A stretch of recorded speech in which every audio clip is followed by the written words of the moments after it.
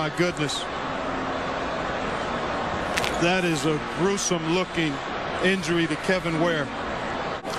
He's dislocated some portion of his leg there, Jim.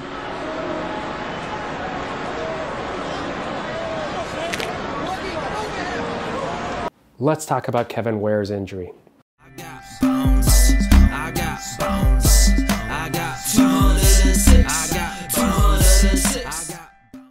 Kevin Ware, NCAA tournament, he had a brutal open fracture tibia. Now, look away if you can't watch this injury. This is graphic. Now, the only other time I've seen a, an injury this bad is typically side swiping, high velocity, high impact, where a player is coming in to swipe, side swipe someone's leg, and boom, you crack the tibia, pops out of the skin, or motor vehicle crashes, falling off of high, tall buildings, falling off the roof, high velocity, high impact injury. So, what happened here? He lands on his leg, and then what you see is half of his tibia sticking out of the skin. So, he landed, planted, and went back. Now, typically, what have, would have happened in that situation, you've seen plenty of, uh, of basketball injuries. You land non contact ACL, you land, sprain your ankle, you twist your ankle, something happens. Spraining a joint or a knee or an ankle is typically what happens from that position. You get a hyperextension of your knee, you blow out your PCL. You do a non contact tack pivot shift, you blow out your ACL. You roll your ankle one way or the other, you get a fracture, you get an ankle sprain, or a really bad grade three ankle sprain. He didn't do that. Why did he break his tibia? Just imagine this is your right. Now, the reason this is the left is fibula is on the outside. So in Kevin Ware's issue, he landed, planted, and broke his tibia. Now, this is the tibia and fibula. Full length tibia down to the ankle. Full length fibula down to the ankle. This is half. Popped. So imagine the bone landing and popping out. You see the tibia sticking out of the skin. So he landed and broke his tibia, and that's why you see the double bend. So he had a compound fracture, also known as an open fracture, and that tibia popped out of the skin, ripped the skin, ripped the muscle, and he injured it. Brutal injury.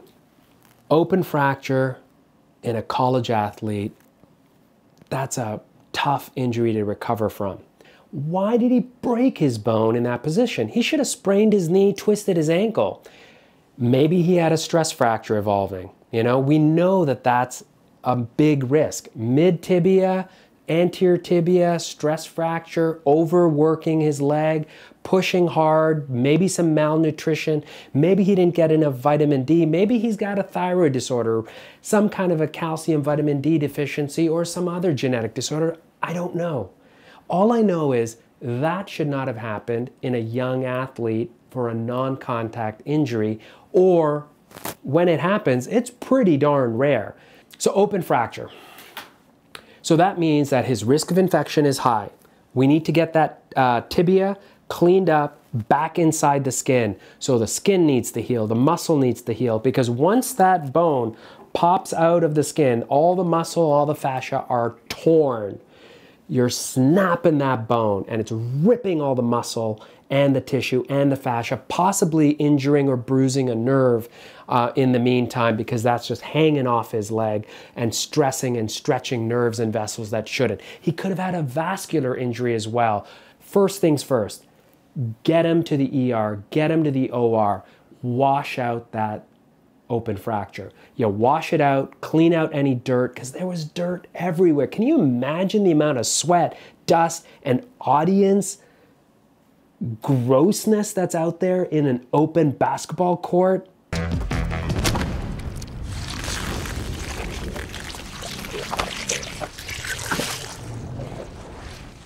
People are sweating, eating junk food, and all of that is floating around. Think of all the germs that are out there on an open court. And he blew open his tibia and his leg and his muscle fascia. All of that stuff is there. Now, when you do that, Breaking a bone like that is like a negative vacuum because you went from a closed environment, burst something open, whoosh, sucks things in. Okay? So that means whatever was outside is now inside. Whatever dust was there is inside. You have to wash that out. You clean it out, you line it up, you rod it. Depending on the uh, level of the injury, most of the times mid tibia, even in an open fracture, because that's relatively clean open fracture. For all intents and purposes, this was a relatively clean open fracture. Popped open, you wash it out, you put it back, you give him some antibiotics, you rod the leg. What are his risks? How is this different from a regular broken bone? The average tibia, 8 to 12 weeks to heal. You, if he's rodded, he's walking right away as long as it's stable. And his biggest risks are because of the muscle contusion and fascial tears, because it's open, a little bit longer to recover the muscles. If he had a nerve or vessel injury, that could add to the complexity. But the biggest thing with an open fracture is the risk of infection. Now, since it was a relatively clean open fracture, it was inside out, not outside in, meaning it wasn't like someone's dirty cleat went in and smashed his leg and took dirt inside. It was inside out, so relatively clean open fracture. Risk of infection is still there. He probably uh, had a few days couple of days of antibiotics as long as it was clean, and then he's back healing and recovering. Does an open fracture take a little bit longer to heal than a closed fracture? As long as there's no infection or complication, it takes about the same time to heal. As long as the overall and anatomical characteristics are restored, it should heal in the same amount of time. But the risk of a delayed union, non union, infected non union, and infection or complications are all higher in that type of fracture.